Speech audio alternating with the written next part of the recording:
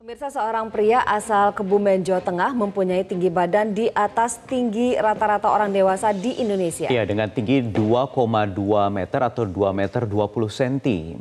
Manusia jangkung dari Kebumen yang bercita-cita menjadi guru olahraga. Inilah aktivitas keseharian Rizky Albarka, berusia 23 tahun, pria asal desa Kalirejo, Kebumen, Jawa Tengah. Pertumbuhan tubuh Rizky mulai dirasakan ketika ia berusia 18 tahun dengan kenaikan 15 cm per tahun.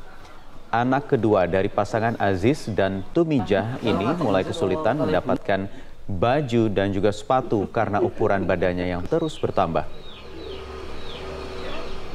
Tubuh Rizky termasuk spesial karena mempunyai tinggi badan 220 cm Padahal tinggi rata-rata pria di Indonesia hanya mencapai 160 hingga 170 cm. Meski demikian, ia juga kesulitan mendapatkan pekerjaan. Namun, ia kini pasrah menjadi buruh bangunan.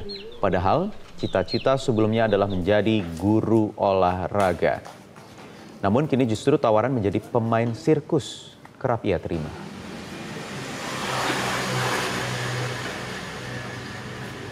Siap.